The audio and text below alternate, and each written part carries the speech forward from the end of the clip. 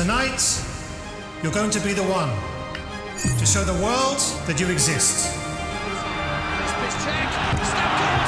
So you step out into the light to respond with glory